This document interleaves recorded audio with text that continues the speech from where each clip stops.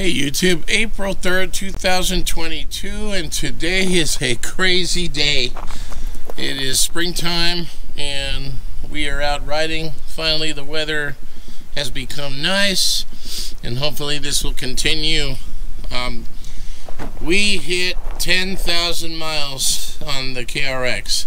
That's quite the milestone, and in this video, I'm going to be talking about the things that have gone wrong in this 10,000 mile period, the things I think you should watch out for if you own one of the KRXs, and what my experience has been uh, throughout ownership of the 2020 KRX. But before I do that, please hit like and subscribe and share this video with everybody so I can get the subscriber base up. For those of you that are returning, uh, hit that like button. I really appreciate it.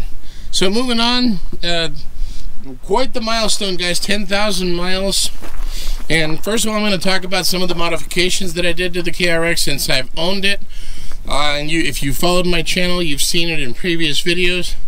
The first thing um, and the most major was the complete shock therapy upgrade. I actually took this out to Phoenix and had the guys at Shock Therapy in their expertise improve, uh, put in the shock system and the spring system, greatly improved the ride. The Graves exhaust pipe, which I've ordered from Hester Motorsports in Raton, New Mexico. By the way, John, sorry to see that you're closing your doors. I wish you the best of luck, buddy. I appreciate all the help that you gave me throughout the ownership of my machine. And if you guys are looking to pick up some accessories for either your Kawasaki TRX or KRX, hit up Hester's Motorsports in Raton. Um, he's shutting the doors after many, many years of business, and he has everything on clearance. I'll throw a link down below in the description. Uh, so that was the upgrade, one of the upgrades from him. Uh, of course, the rear bumper, the Super ATV uh, bracket here to enclose uh, the trunk or the cargo area, if you will.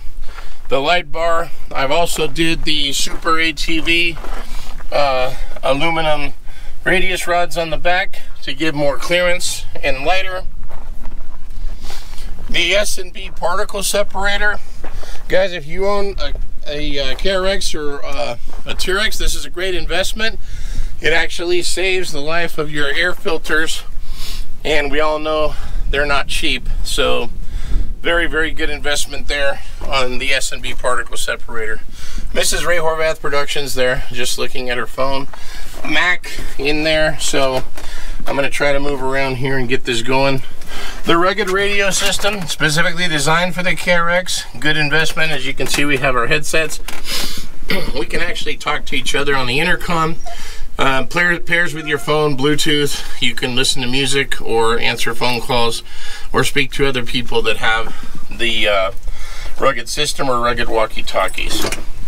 One of the things I'm going to focus on as well are these uh, uh, rock protectors or on the side here. These are actually Kawasaki's brand and I had those installed early on. If you've seen these, the rock sliders makes a big uh, difference if you're going over rough terrain.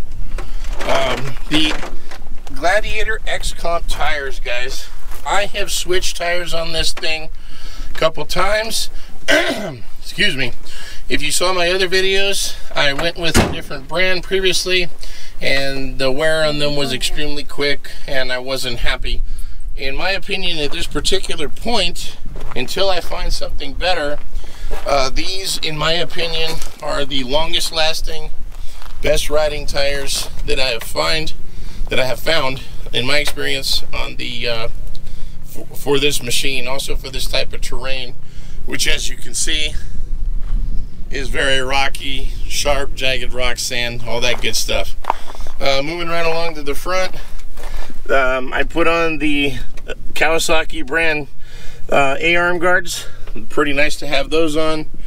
The quad boss lights super ATV flip up windshield and of course the quad boss light bar up there. I will notate though slight note here on the super atv windshield i had one of these uh, little shock absorbers actually go out completely on it which was very interesting. So my windshield was kind of sagging to one side and would not stay open. But it basically just gave out entirely. And I have it here. You bear with me for a second. So basically, this shock went out and there's no more pressure in it. It's just horrible. But they do sell these individually uh, from the Super ATV website, which is kind of cool so you don't have to replace the whole windshield. So I bought both pair. Um, it just makes sense to put on both of them, that's what we had done. Um, other than that, guys, that's pretty much the upgrades that I did to the machine. Now focusing on some of the things that has gone wrong with it. Obviously, the battery went out within the first year. Um, you don't tend to get a lot of life out of those anyway. The battery I replaced it with comes from just any auto parts store. I happen to pick the one in here up at O'Reilly's, uh, but not too expensive. I did have the clutch one-way bearing go out, and I'll throw a picture up here on the screen to let you see that. I also have a previous video on that. I'll throw, so if you want to check that out, I'll throw a link to that as well.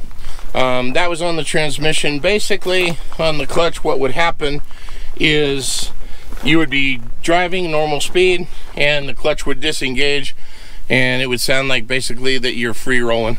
Uh, that was handled by Kawasaki and taken care of under a recall actually, if I remember correctly. Uh, moving along to the next issue that I had with it was the clutch weights. The clutch weights, and um, they they did not last very very long. I had a shifting happening that was similar to an automatic car where you go through gears. And as you know on the KRX, it's a CVT, so it should be one smooth motion. But we were getting a jolt, like if you were going through gears. So if you guys buy one of these, one of the first things you want to replace is the clutch kit. Have that put on, and you're going to see a big difference. Um, and I went with the Right Coast clutch kit. I also have a video on that. If you want to check that out, and I'll throw a link below to Right Coast if you want to order those um, weights as well. Um, other issues, other issues. Let's see. that's it. Actually, guys, I think that's pretty much it.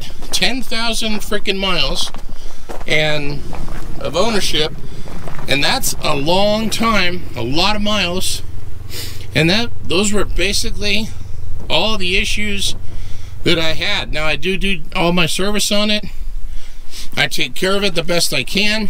Um, and the majority of those miles were put on out in this area. Southern New Mexico, the Doña Ana mountain range. Really nice out here, but yeah guys, quite the milestone, 10,000 miles. Highly impressed with the reliability of Kawasaki.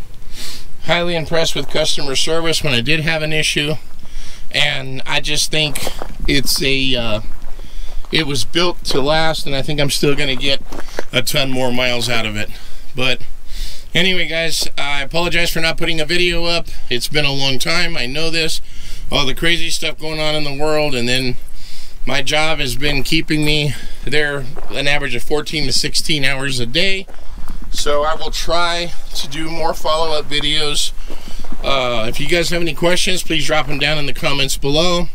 And I will see you guys in the next video.